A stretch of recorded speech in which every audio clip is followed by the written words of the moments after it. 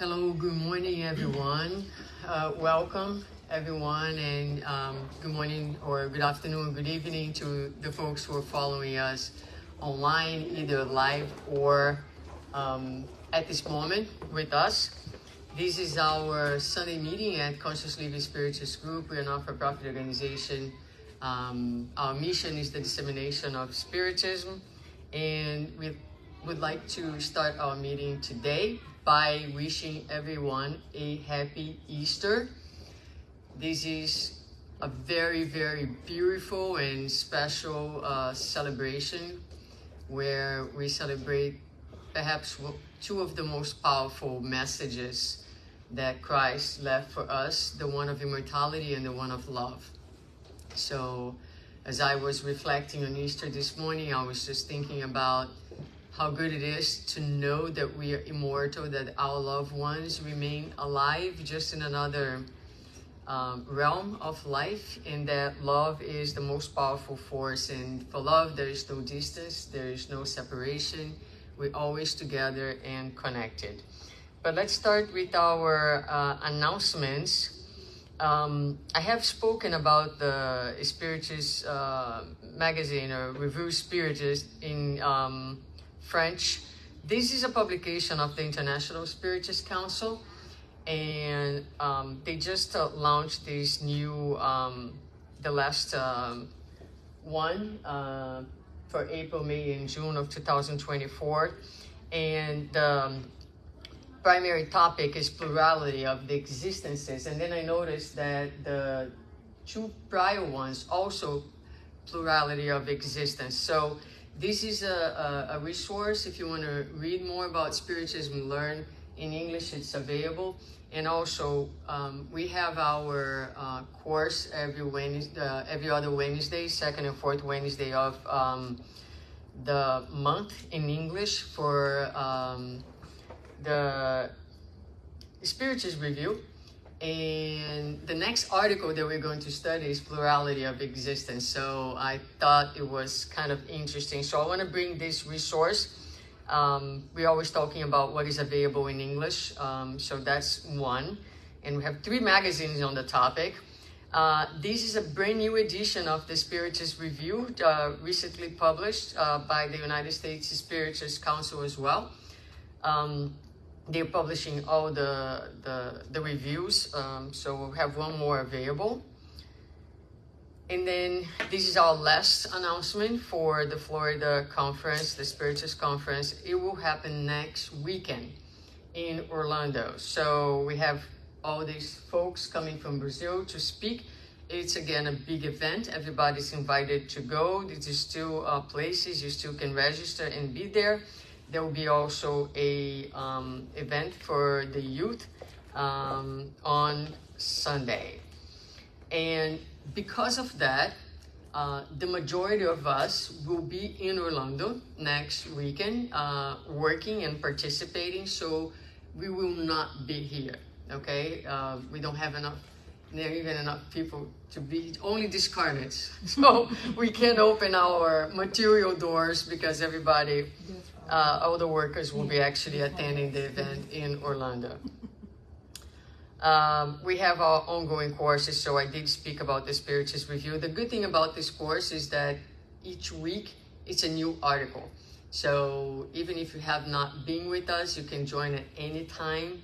Uh, we're still in the first uh, Spiritist review. The month, it's a year of articles, so we are in March right now, and we're gonna be studying that topic, plurality of existence, every second and fourth Wednesday at 6:30 p.m.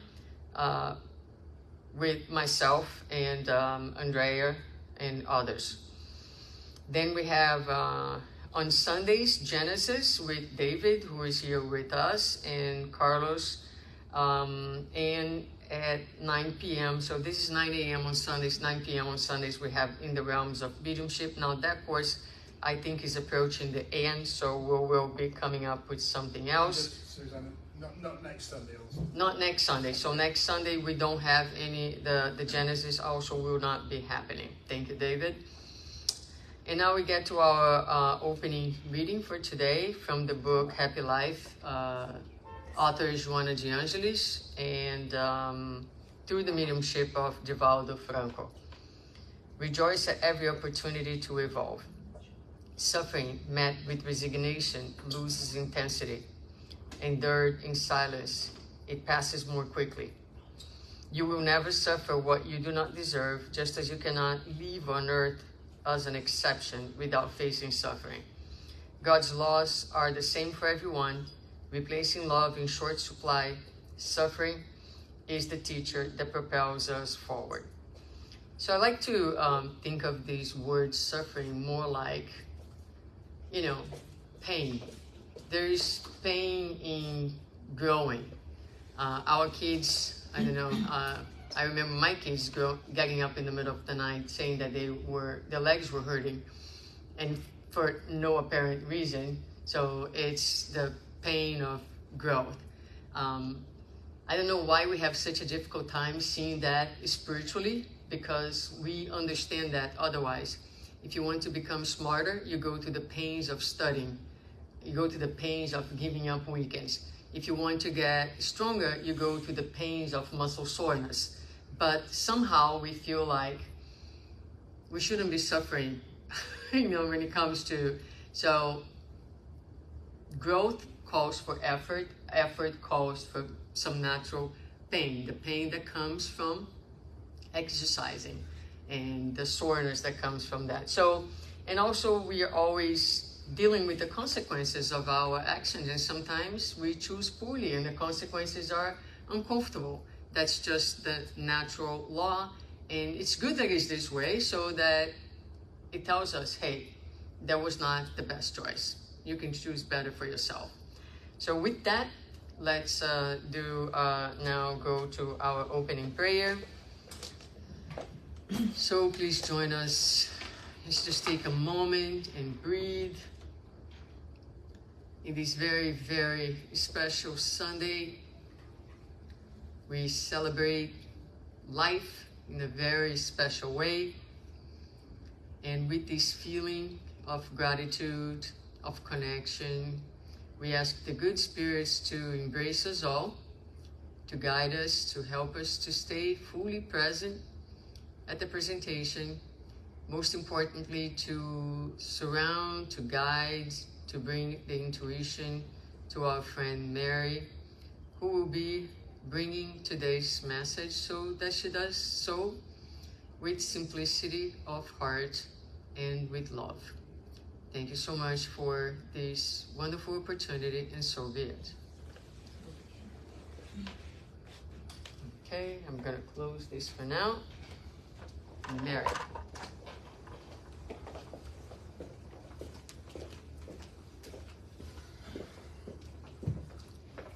Thank you, Susanna. Thank you, everybody, for being here today. All of you at home. Hopefully, you come join us one day. And uh, welcome, everybody. I am very nervous, I have to admit. um, speaking in public, it's not one of my biggest traits, but it's with love in my heart that I prepared this for us. And I hope to stay true to this story because it is a beautiful, touching story. And the title is an invitation to renewal. And in the beginning, when Abigail asks for the to prepare the talk, I actually considered getting home and opening the uh, the gospel at home, and you know, like we usually do, just pick a uh, subject, study it, and, and bring it. But when I looked up the date and I saw, wow, it's going to be Easter Sunday.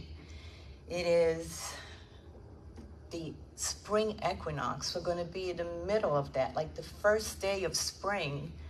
So uh, nature teaches us that, that message of renewal. Um, here in Florida, we don't see it as much I lived in New York for about 18 to 20 years, and I actually missed the seasons um, changing because you can clearly see it. Like when winter comes, there's no life. I mean, there's not one leaf on a tree. And then when spring comes, everything comes back to life. It's like magical. And God teaches us that through nature, that, you know, we do have the ability to change and renew ourselves. So today we are we're going to talk about two people. We're going to mention Paul of Tarsus because our friend Yudi sitting there in the back did a beautiful job bringing the story of Paul, I believe a Sunday, last Sunday or two Sundays ago. So today we're going to be talking about Mary of Magdala, whose name is actually Miriam. And for now, we'll be calling her Miriam, and we'll find out why. Um, just one personal uh, input. My name is Mary, and I always wanted my name to be Maria. And I didn't change my name. I had the chance to do it when I became an American citizen. And I didn't do it because my dad picked my name, and he has passed away, and I didn't want to change my name. But I believe somebody changed her name to Mary, and her name was Miriam, and her parents picked that name for her. So to honor her parents and to honor her wherever she is, and I hope that she's here with us, inspiring us to, to talk about her and to learn a little bit more about her. Because in the four Gospels, Mary is mentioned. But we don't know much about what she was like when she was a little girl growing up. And thank God for mediumship. Um, Divaldo, through his mediumship, brings us the story of Mary, of Magdala, Miriam, to us in a beautiful way. And I am not going to even try to do it as beautiful as he does because we know Divaldo. you don't know me yet, but you can't even compare. But like I said, we will do our best. It's a beautiful story, and I hope that everyone is um, touched by it and inspired to make that move like she did.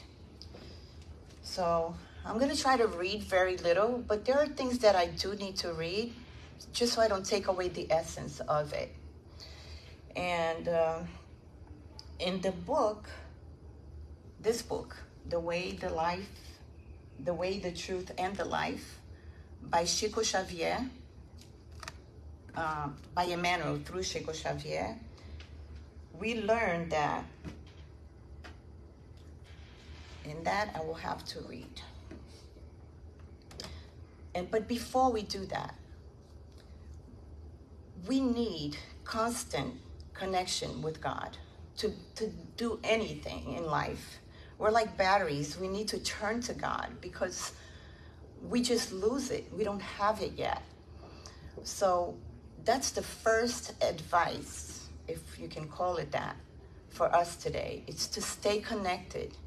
Stay connected with Jesus. We have Jesus. We have the, the Spiritist philosophy. We have our guardian angels, our spirit guides to help us. But we do need to turn to them because if we don't, they need to respect our free will. And uh, Mary, Miriam, actually didn't even have that. Like, she was just this, this woman who had a really tough, hard life. And she heard of Jesus and she decided she was going to do it. And she did it. So for us, it should be much easier, right? But most of us, and we like to say that all the time. No, we like that's the first thing that it's not easy. That's that's what we like to say. But we come to the question 908 in the Spirit's book. And Kardec, talking, making his um, questions to the spirits, he says, um, Are our own efforts always enough to overcome the urges of our lower nature? And the Spirit's answer is yes, period. Not yes, maybe, not however. No, it's yes, period. Most of the time, only very small effort is needed. You usually lack the willpower to make even that. How few of you seriously try to subdue these impulses? Now, if that's not enough to convince us, Joanna de Angelis brings in the book Life Changes and Solutions by Divaldo Franco, she goes on to say, To identify with God is to enlarge the values that sleep within us and are disregarded. A spark that knows its combustion power, that finds substances that are easy to burn, can produce a fire. When someone identifies him or herself as the possessor of this resource, he can ignite the fire that devours vices and opens virgin spaces for the installation of the high potentials of personal development. Those who are aware of their own resources have measures to access the possibilities of triumph. Strive to achieve them, while those who do not know them stop on the pretext of their own weakness, because the truth is, they prefer it that way. So it is our preference to remain where we are. It's hard to change, like Susanna mentioned before, but it's through changes that we grow. We need to push ourselves. You guys have no idea how hard it is for me to be up here right now. it's a challenge. But here we are, and we're going to do this, and we're going to get better and better at it if given the opportunity. Now, like we mentioned, we're very familiar with the two um, characters from the gospel, Paul and Mary. And it's registered in this book that I just mentioned. And it, uh, Emmanuel goes on to say, among the figures of the good news, no one did so much violence to themselves to follow the Savior as the unforgettable, obsessed woman of Magdala. Not even Paul of Tarsus would do so much later, because the conscience of the apostle of the Gentiles was infatuated with the law, but not with the vices. Magdalene, however, had known the bitter depths of habits that were difficult to extirpate. She had softened herself in the contact of perverse entities, and she remained dead in the sensations that operate the paralysis of the soul. However, the encounter with Christ was enough for her to abandon everything, following his footsteps, faithful to the end in the acts of self denial and in the firm resolution to take up the cross that belonged to her on the redemptive Calvary of her anguished existence. Understandably, many students inquire why the Master did not appear first to Peter or John his mother. However, it is equally reasonable to recognize that with his unforgettable gesture, Jesus ratified the lesson that his doctrine will be for all learners the golden code of life transformed for the glory of the good. How beautiful is that? And no one like Mary of Magdala had transformed hers in the light of the redemptive gospel like Mary Magdalene. She she did it, and she did it without all the tools that we have, so we can do it. And this is our invitation today. It's an invitation for renewal. There's a book by Divaldo, and I am so happy. I just recently learned that it's coming out in English. And you guys need to gift yourselves with that book because there is no way I can put into, like with my own words, the beauty that is described, the story of this wonderful woman in that book. I mean, I cried rivers reading it, preparing the study. It's really, really touching and very um, inspirational. I don't know if this, that word exists, not too sure. But anyway, um, excuse, English is not my first language. I'm that's another challenge. But anyway, in this book, uh, Divaldo tells us that on a walk, on an outing with her with her parents, Miriam was about 11 to 12 years old, the first time she ever heard of Jesus.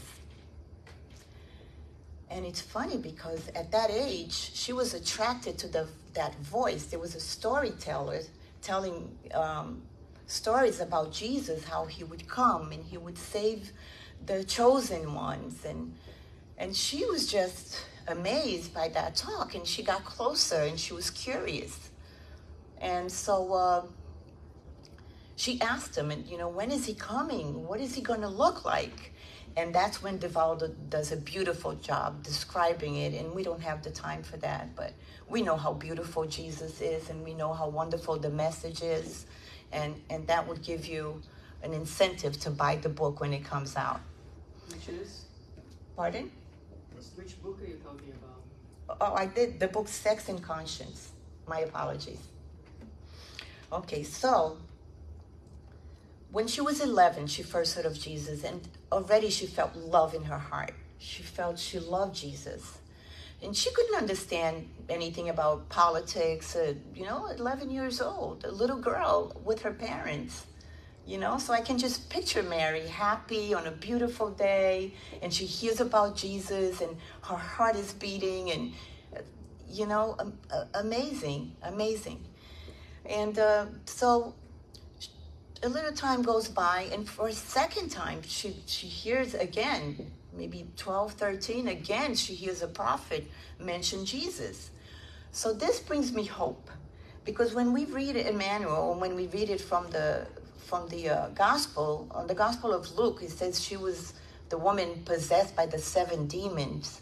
And then we just hear that she walked in and she said master and and he said Mary, and that was it. And I was like, wow, you know. But here we learn that from a very early age, she heard of Jesus, and and not once, but twice, and then a third time because, you know, time went on, and she was her parents passed away, and she was sold as a slave, and by age um, 15, 16, she, uh, you know, and we're all like us women, you know, young girls at 15 and 16, we dream of true love and all of that. And she fell for somebody that told her beautiful words and, and just took advantage of her innocence.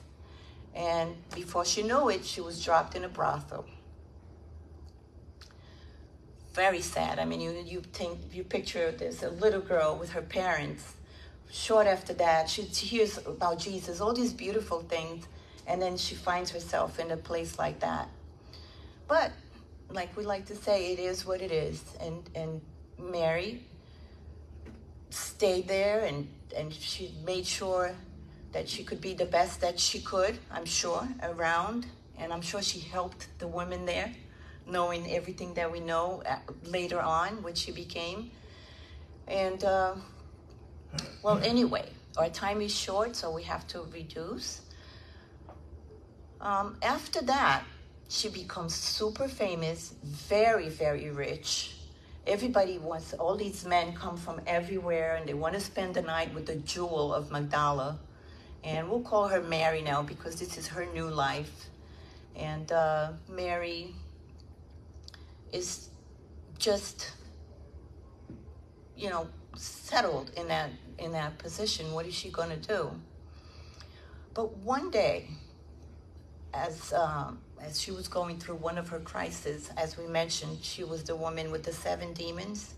We believe that Mary had like psychological, like in the in today's psychological la- language, it would be, I guess, I'm not a psychiatrist or a psychologist, but it would be like bipolar. Like she would have like moments where she was very happy and excited, and then she would come down and be depressed so in one, when that happened to her, she would close the doors and she would refuse to receive anyone. So while going through one of these crises, one of the slaves mentions that Jesus was in town. But she can barely understand. She's like in her own um, commotion, going through her her crisis, and again, and, and, and there I see the importance of when we find someone that wants to help us and they persist. Like some sometimes we say to someone, "Oh, come," you know, and but we say we don't want to force people. But sometimes a little push, a little extra push, might help someone, and it helped her because she didn't give up the first time. She, a second time, she said, You know, he's here and he's come to love everyone and to change the world. And she was so excited, but Mary, nothing. But I'm sure the seed was there. And the next day, a homeless guy comes banging on the door at like midnight, late at night when everybody was sleeping. And he demands that he wants to see Mary. And he wants to see her. And they open the little door from the big castle, the mansion that she owned. And they say, No, no, you go away. This is no time. You're not disturbing. She's not feeling well. She's not going to see you. Give up. But he, again, he didn't give up. He kept banging and banging until they opened that door. And he made himself in and he got in there. And when he got to her door, her servant said, No, no, no, you're not bothering my lady. You're not. He said, Excuse me. If she finds out that I was here and that you didn't let me in, you're going to be in big trouble, lady. That's what he said to her. Not in my in these words. These are my words, of course. But uh, so she he forced himself and got into the room. And there he said, he reminded her of a passage when he, she was going on a trip and he begged her for a coin because he was on his way to see Jesus and he needed money to eat. He needed the money to be on the road and and so she sarcastically threw him a, a coin, he said, a gold coin, and said, Here, you go. And if you find him and if you have gratitude in your heart, come back because I need to be cured. And I want to see if he can cure the leprosy on my soul. And but she forgot all about that. But when he came, the beggar, and he reminded her of that, he opens his shirt and he says, Look, he cured me. And I'm here to tell you, you need to go to him and you need to go now, tonight. If you don't go tonight, that's it. That this is your chance. You need to go right now. So that brought her out of that confusion and, and her crisis. And she uh, she looks at the slave and she says, Prepare my boat. We're going now. And they take the boat and they go. Now, again, here, as much as I don't like to, to read, and we don't have that time, but I have to read this because these are Jesus's um, words, and that's a big responsibility. When Mary finally gets to uh, to Peter's, he was at Peter's house. He says, um, "Wait, first I want to say I want to go back a little bit because this is what Jesus said to the to the leper man. He said, "If you believe that I can heal you, heal yourself. I command you." These are Jesus's words. So I just brought this back.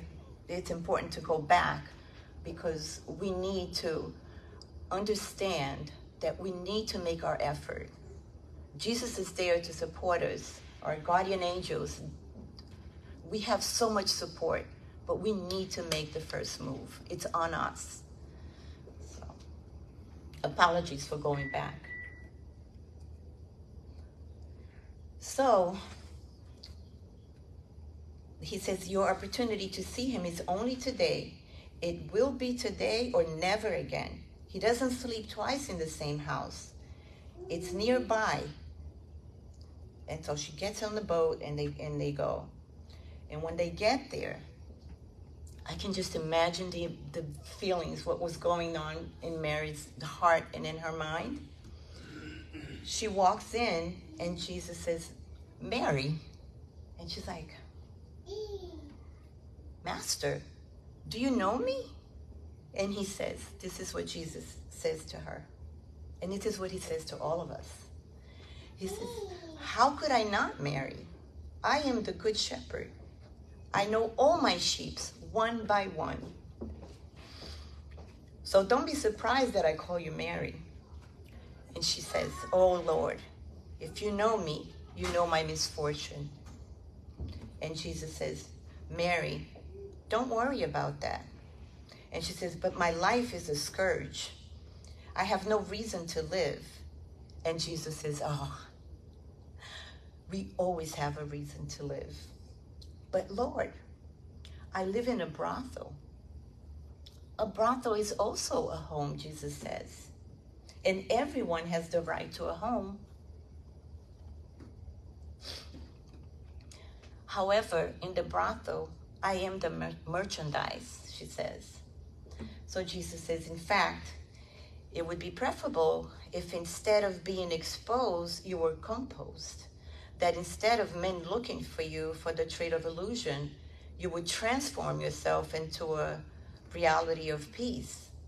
And she goes on to say, and you know, like down herself, and, and Jesus brings her up, and it's beautiful. And this is going to be another reason for you guys to get the book because it's really, really touching. And so she asked, What should I do then, sir? And he says, Love. Just love your children.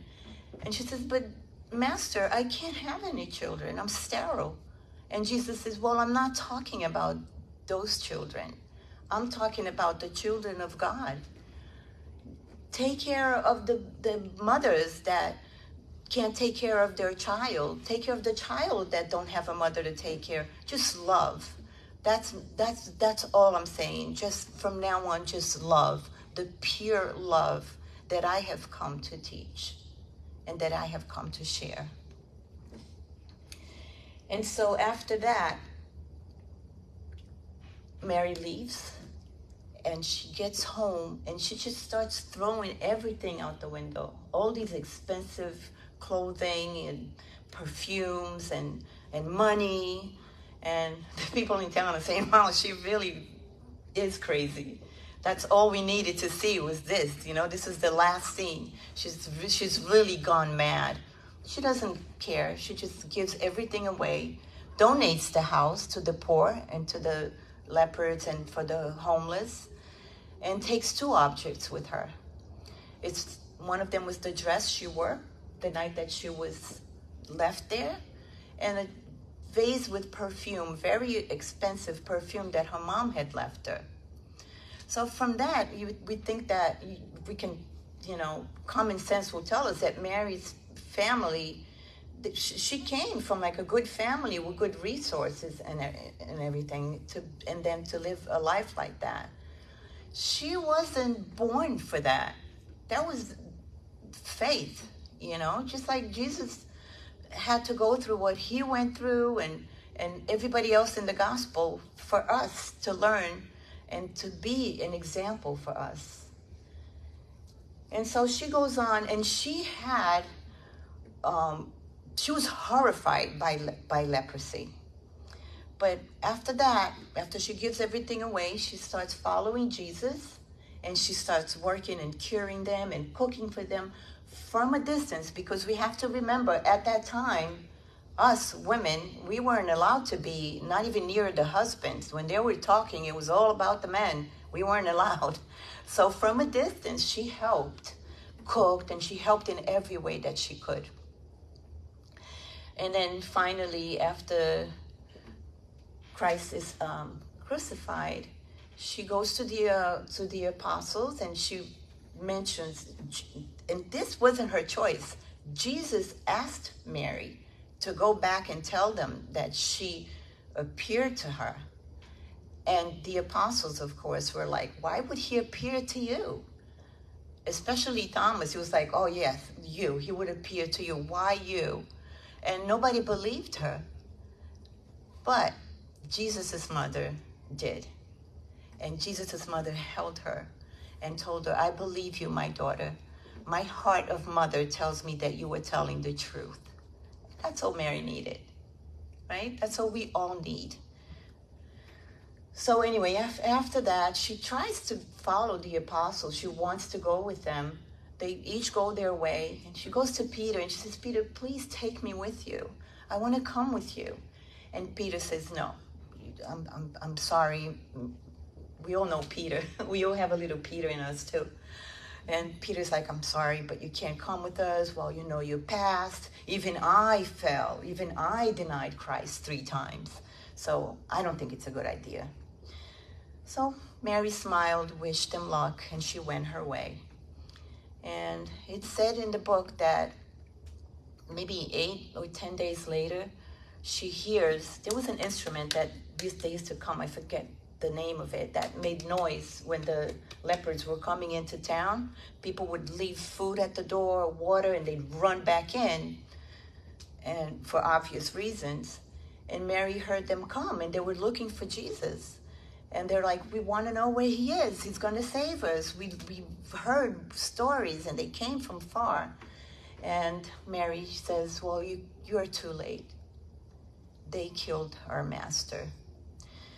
And with that, Mary takes care of them and she preaches until one day she finds out she caught leprosy and she um, it, like very close like towards the end um, she decides to go visit mary and and mary she makes it you know blind and, and you can imagine how hard it was for her to get there but she makes it there. And and she gets to see mary and she sees like she's half there, half here in the process of her disincarnation, but she can. And this I'm going to have to read real quick.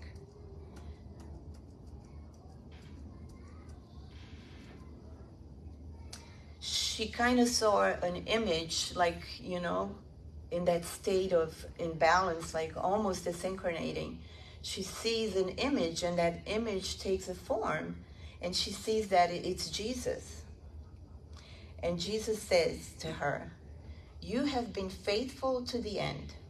Now rest and enter my Father's kingdom. Mary embraced Jesus and fainted in that instant of indescribable emotion.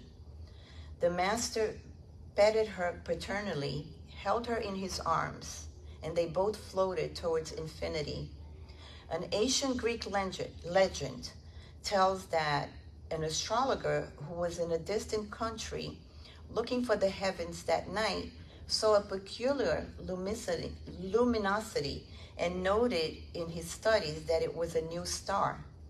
In fact, what he had seen was Mary of Magdala ascending into the kingdom of heaven, leaving a trail of light in the atmosphere. And, and, and that was it. That's the story, and very poorly told, I admit. But you will get the you will get that book. I'm sure you will. And so, lastly, we'd like to read from this book. Since our title is an invitation to renewal, we're going to end with this reading. I'm shaking like a leaf right now, and you can't see it. Yeah. Okay, and it's lesson 152 from Living Spring and it's by Francisco Cândido Xavier by Emmanuel, the Spirit Emmanuel. And it's titled Come. And let him who hears say, Come. Whoever is thirsty, let him come. And Emmanuel explains that to us. And he says, Earth is a great school of souls where students of all ages are educated. If you have reached a level of great experiences, do not worry about your ever increasing workload. Do not see enemies in those whose understanding is still imperfect. Many of them have not yet left spiritual kindergarten. Always render good for evil, truth for lie, and love for indifference. The, ex- the inexperience and ignorance of souls that have just begun the struggle are often very troubling to the spirit that is in search of itself. Consequently, you will often may suffer from affliction and discouragement. Do not be troubled, troubled, however. If the illusions and toys of the majority do not satisfy you anymore, it is because maturity is pointing you towards vaster horizons. Remember that only Jesus is wise and strong enough to bring you peace of mind. Listen to his divine appeal, spoken in the last words of his testament of love Come. Nobody can keep you from approaching the spring of infinite light. The Master is the eternal friend who breaks our chains and opens the doors of renewal. However, if you have you have to be willing the Lord never forces anything on us. Do you suffer? Are you fatigued? Do you stumble under the, the burdens of the world? Come. Jesus is holding out his arms to you. Come and meet him yet today.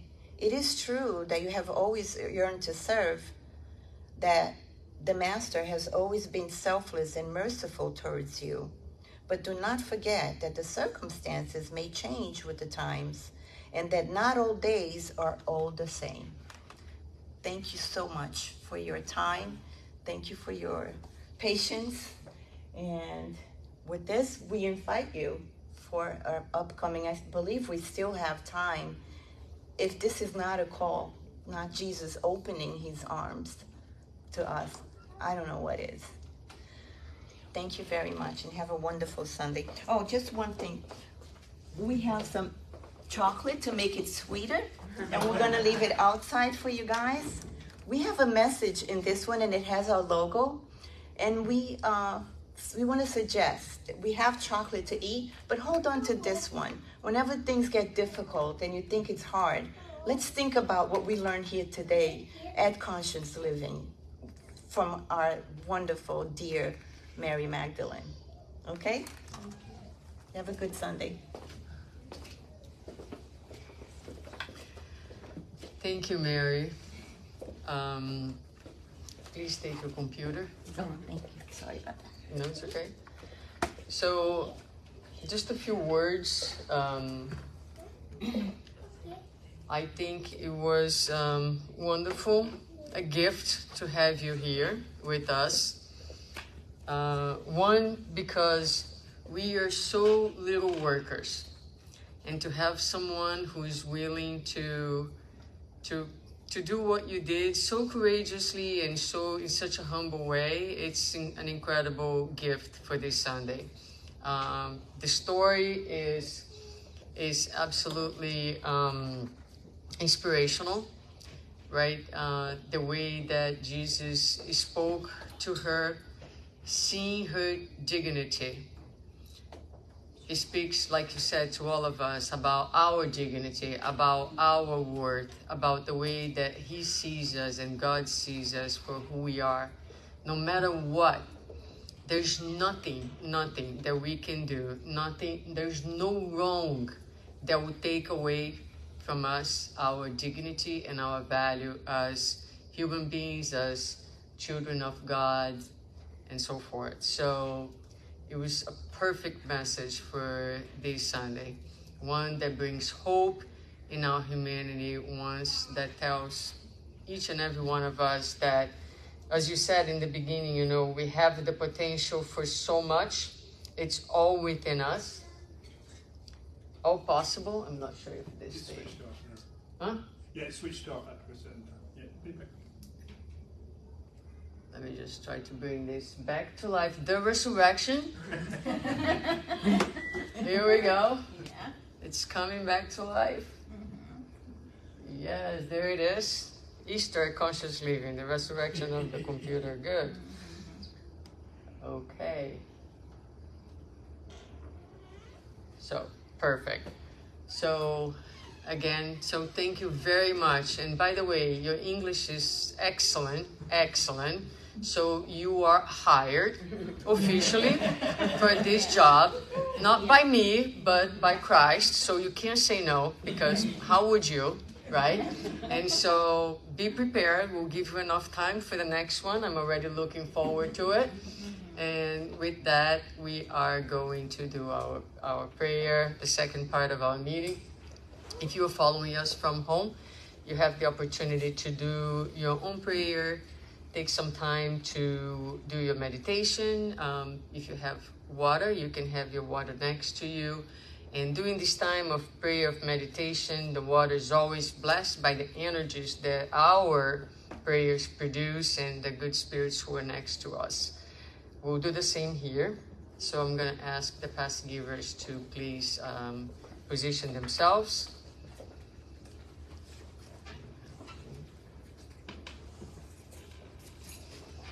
Okay, yeah.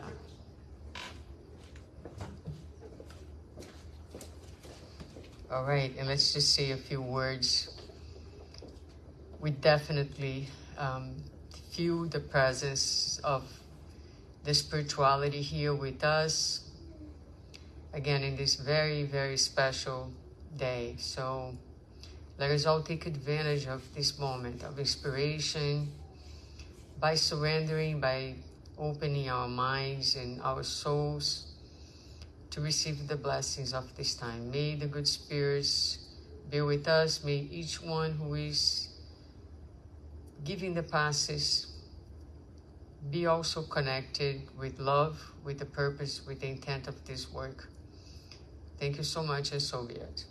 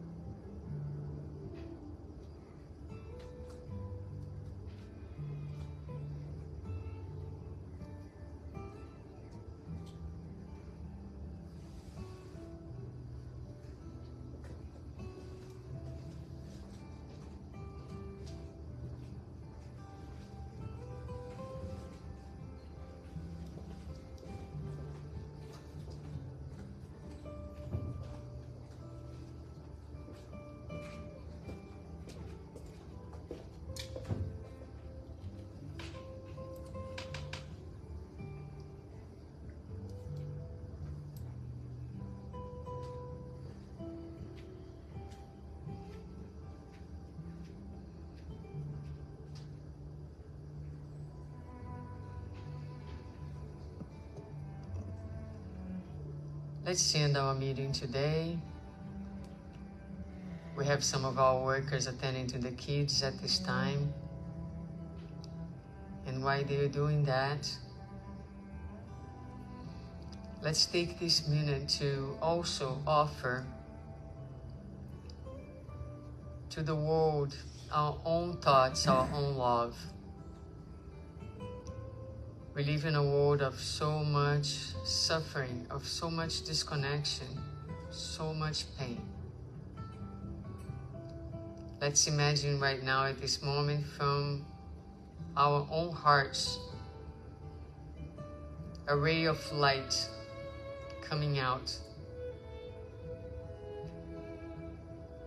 And all these rays, all this donation of love, of energy through the power of our thoughts and the power of our emotions being gathered as a gift, as a precious donation that can be taken to others in need. Because although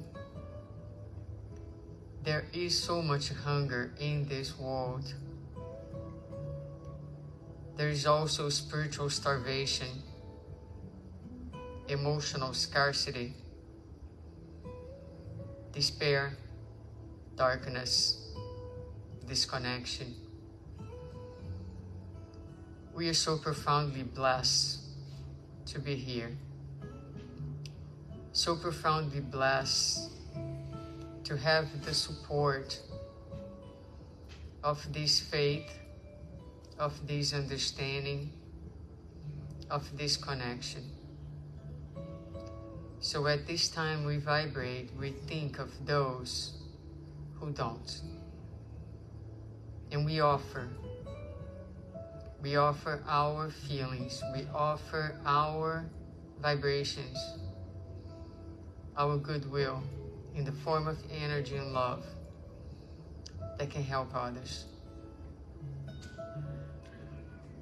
And we ask God to help us to to continue to maintain the connection as we go through our week.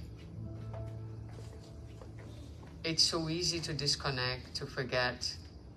Help each one of us to remember your presence within us, to remember that we too are light, that we are able, that there is always hope, progress, that peace is possible.